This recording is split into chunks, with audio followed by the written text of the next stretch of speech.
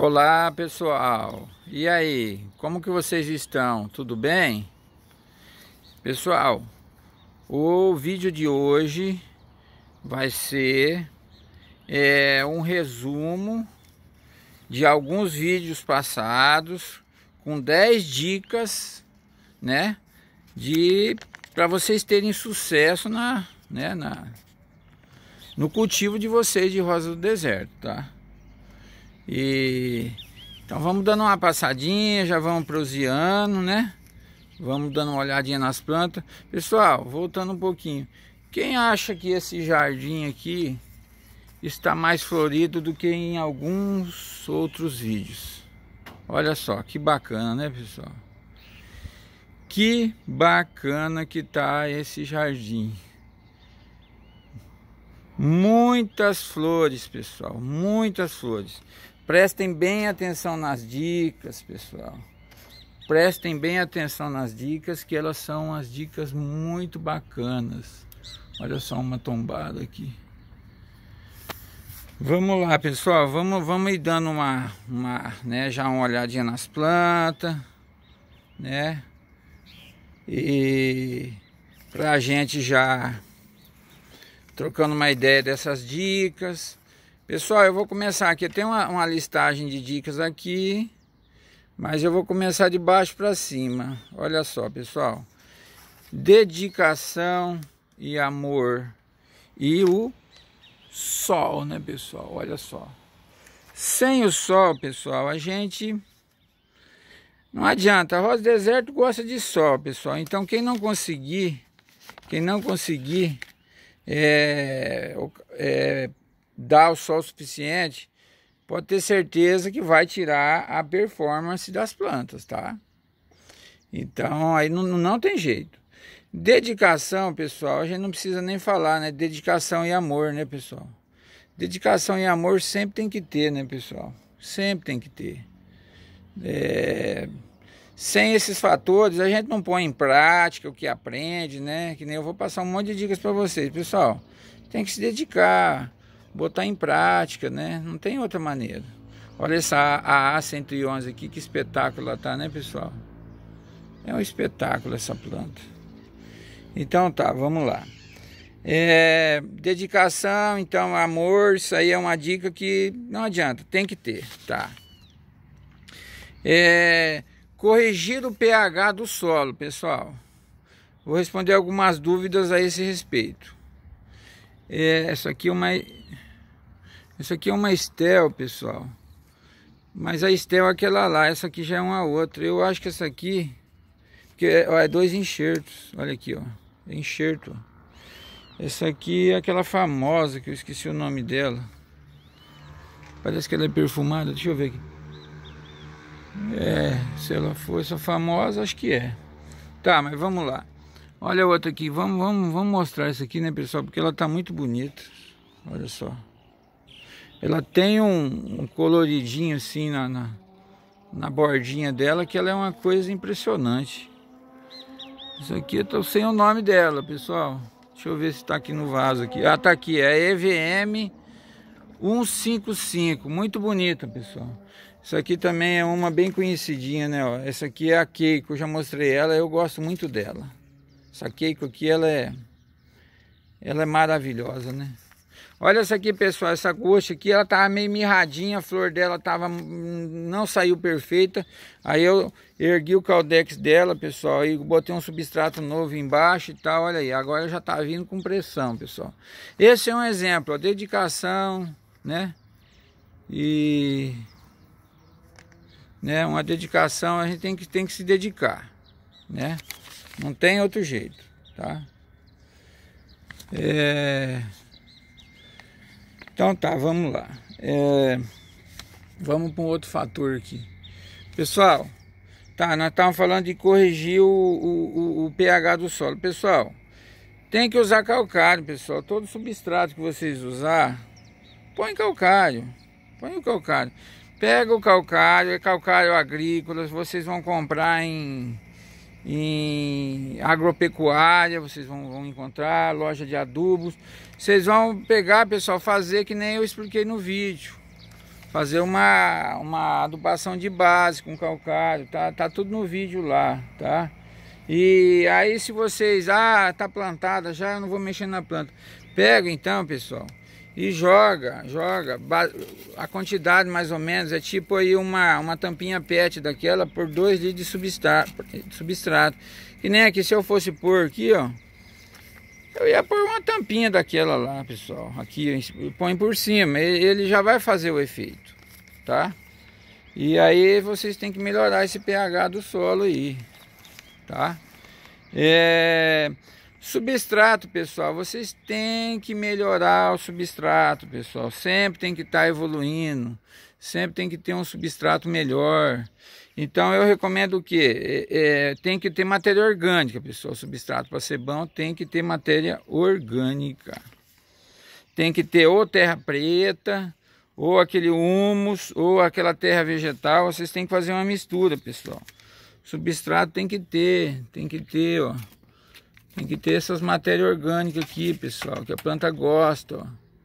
Senão não vai. Terra também junto, ó. ó. Terra, ó. Tá vendo? Tem que ter, pessoal. Vou tirar outro mito aqui. Ah, a rosa deserto não gosta de muito, muita umidade. Ah, então, então tá errado isso aí, porque as minhas gostam. As minhas eu sempre úmida e bem úmida, chovendo aqui direto. E olha aí para vocês verem o resultado. Então, né, não... Ah, não, não, não gosto de umidade, não. Aí já entra aquele, é outro fator que aqui, ó, é outra dica. Irrigação eficiente, pessoal. Já, já mostrei um vídeo aí, pessoal, vai lá e vê esse vídeo. Irrigação eficiente.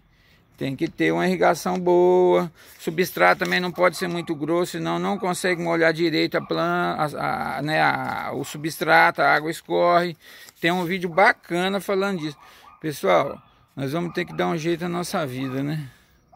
Porque olha aqui, pessoal, esse aqui são todas tailandesas. Essa, essa, essa, essa, ó, parece que é uma buquê.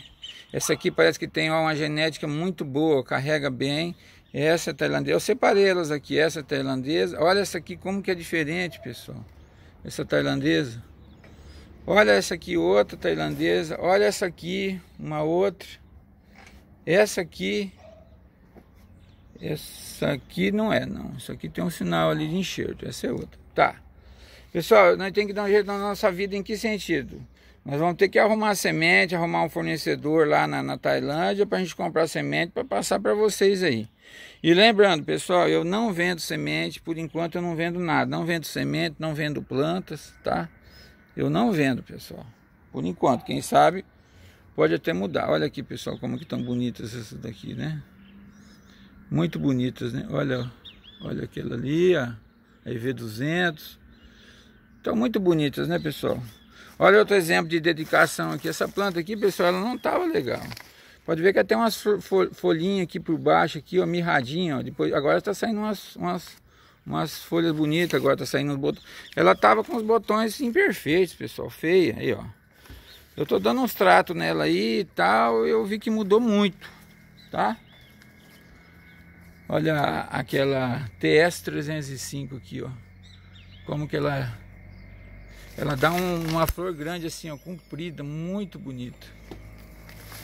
Tá, vamos lá, pessoal, vamos lá, vamos, vamos, vamos listar mais alguns, alguns fatores aqui. Pessoal, eu vou ter que ir do lado de lá, que tá um sol aqui, pessoal. Um sol muito forte. Eu vou pegar de lá para cá e aí a gente vai, vai, vai olhando e vai conversando aos poucos. Porque aí eu fico eu fico o celular na sombra aqui, porque senão ele vai desligar e eu não gosto de editar vídeo, tá? Irrigação eficiente, eu já comentei, pessoal, sobre o vaso, pessoal. O vaso mais profundo, né, que... E vejam o vídeo lá, pessoal. O vaso tem que ser profundo para ter caldex bonito, para ter uma melhor performance, né? Tá. Tratamentos preventivos, ácaro, cochonilha, fungos. Pessoal, óleo de ninho já é um tratamento meio preventivo, certo? É fazer aí, né? Uma vez no mês. Ou...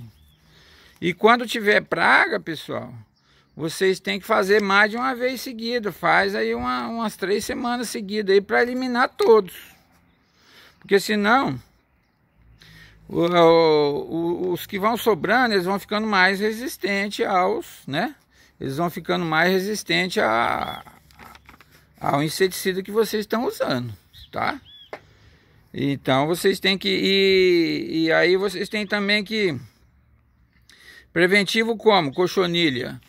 Vem, vocês compram alguma planta que vem com substrato, pessoal? Joga fora, pessoal. Joga fora, lava bem as raízes da planta e planta ela no, no substrato de vocês aí, por quê?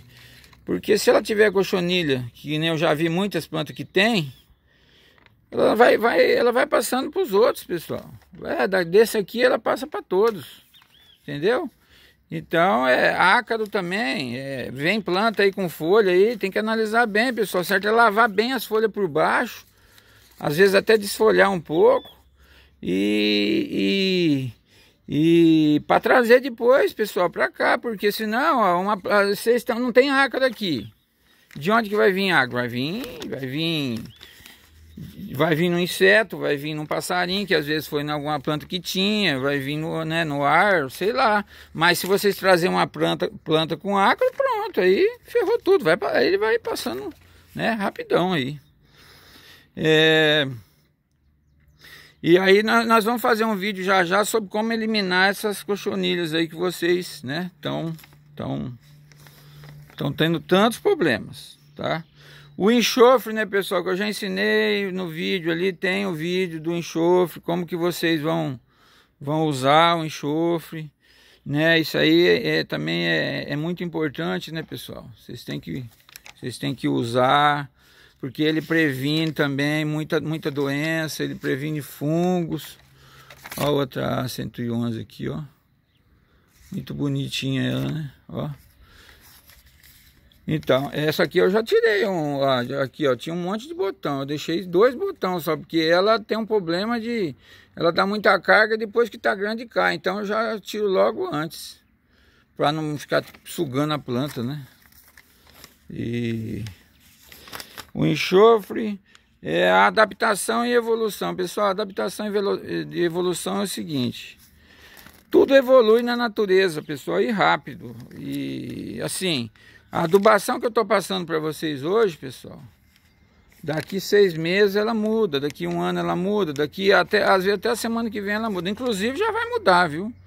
Eu já tô com uma adapta... eu tô com uma adubação aí, que o título do vídeo, vocês vão ver o vídeo entrando aí, vai ser a, a, a, adubação, a melhor adubação do mundo. E eu vou, vou explicar o porquê que ela é muito boa desse jeito. Eu vou explicar, porque tudo tem um porquê.